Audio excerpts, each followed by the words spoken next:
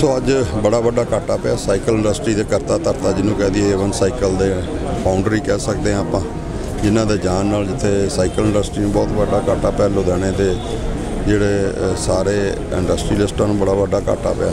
ਉੱਥੇ ਹੀ ਸਾਰੀ ਦੁਨੀਆ ਦੇ ਵਿੱਚ ਸਾਈਕਲ ਇੰਡਸਟਰੀ ਦੇ ਵਿੱਚ ਅੱਜ ਸੋਗ ਦੇ ਵਜੋਂ ਦਿਨ ਮਨਾਇਆ ਜਾ ਰਿਹਾ। ਸੋ ਅਸੀਂ ਪ੍ਰਮਾਤਮਾ ਚਰਨਾਂ 'ਚ ਇਹੀ ਅਰਦਾਸ ਬੇਨਤੀ ਕਰਦੇ ਹਾਂ ਇਸ ਪਵਿੱਤਰ ਨੂੰ ਆਪਣੇ ਚਰਨਾਂ 'ਚ ਨਿਵਾਸ ਬਖਸ਼ਿਓ, ਪਰਿਵਾਰ ਨੂੰ ਭਾਣਾ ਮੰਨਣ ਦਾ ਬਲ ਬਖਸ਼ਿਓ। ਅੱਜ ਦਾ ਦਿਨ, ਜਿਹੜਾ ਇਹ ਬੜਾ ਸ਼ੋਕ ਵਾਲਾ ਦਿਨ ਹੈ, ਕਿਉਂਕਿ ਸਾਈਕਲ ਇੰਡਸਟਰੀ ਦੇ ਨਾਲ ਸੰਬੰਧਿਤ ਰਵਿੰਦਰ ਸਿੰਘ ਜੀ ਪਾਵਾ ਜਿਹੜੇ ਏਵਨ ਗਰੁੱਪ ਦੇ ਵਿੱਚੋਂ ਹੀ ਸਨ, ਉਹਨਾਂ ਦਾ ਸਮਾਜ ਚਲਾਣਾ ਹੋ ਗਿਆ ਹੈ।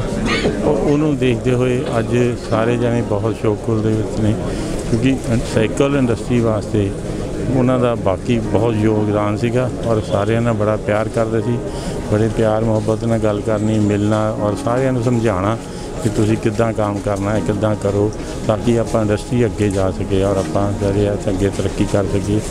ਇਸ ਨੂੰ ਅੱਜ ਦੇਖਦੇ ਹੋਏ ਸਾਰੇ ਅਸੀਂ ਸ਼ੁਗਲ ਹਾਂ ਔਰ ਅਸੀਂ ਆਪਣੇ ਵੱਲੋਂ ਪਰਮਾਤਮਾ ਅੱਗੇ ਅਰਦਾਸ ਬੇਨਤੀ ਕਰਦੇ ਹਾਂ ਵੀ ਉਹਨਾਂ ਦੀ ਆਤਮਾ ਨੂੰ ਸ਼ਾਂਤੀ ਦੇਵੇ। ਪਰਿਵਾਰ ਨੂੰ ਭਾਣਾ ਮਿਲਣ ਦਾ ਬਲ ਬਖਸ਼ੇ ਪਾਵਾ ਪਰਿਵਾਰ ਨਾਲ ਸਾਡਾ ਪਰਿਵਾਰ ਜਿਹੜਾ ਇੱਕ ਲੰਮੇ ਸਮੇਂ ਤੋਂ ਜੁੜਿਆ ਹੋਇਆ ਸੀ ਔਰ 45 ਸਾਲ ਅਸੀਂ ਇਸ ਪਰਿਵਾਰ ਦੇ ਨਾਲ ਕਾਰੋਬਾਰ ਦੀ ਸਾਂਝ ਦੇ ਵਿੱਚ ਕੰਮ ਕੀਤਾ।